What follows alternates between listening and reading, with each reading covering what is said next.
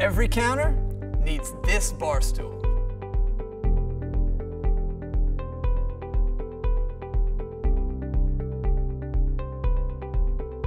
Its rich cherry tone finish and brown faux leather upholstery make quite a statement.